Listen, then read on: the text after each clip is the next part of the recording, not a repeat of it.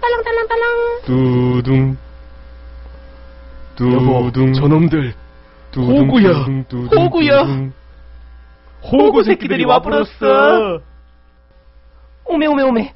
어서 오시아이. 오니라고 힘들었지? 오빠 오빠 여기 분위기 진짜 대박인 것 같아. 여거가 여거 여 뭐 여 근방에서는 뭐 여거가 뭐 히트여. 응 응. 1박에 3만원. 안 되면 다른 데로 갈게요. 응? 뭐라고? 나만 믿으쇼잉?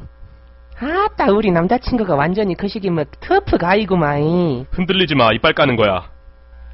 저거 뭐 물놀이하고 와갖고 뭐 추울 건데 이거 뭐 감기 든게 일단 불짝으로 좀 오시아잉. 싫어요.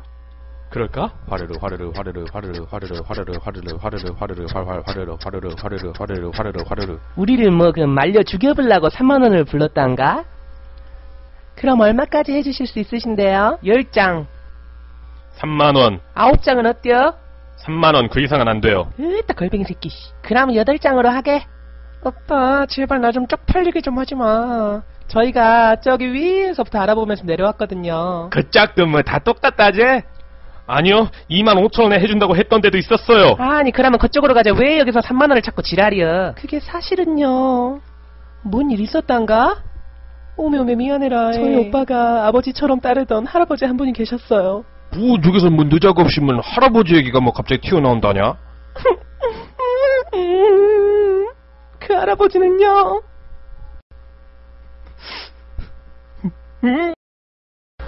성수기 때 3만 원 이상 내는 건 호구다!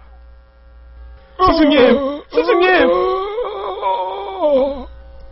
3만원, 3만원, 3만원, 3만원, 3만원! 3만원 이상 내는 것은 호구다, 호구다, 호구다, 호구다.